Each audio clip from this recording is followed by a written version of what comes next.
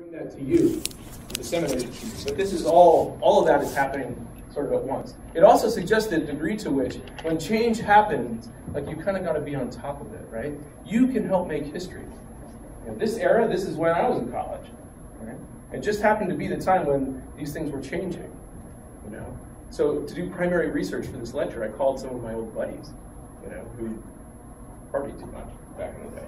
You know, mm-hmm. that helps. It's not enough, but that helps. It's interesting to think about the way that, that, that history can be happening right there at the moment. Anyway, so Studio 54, it's a minute club.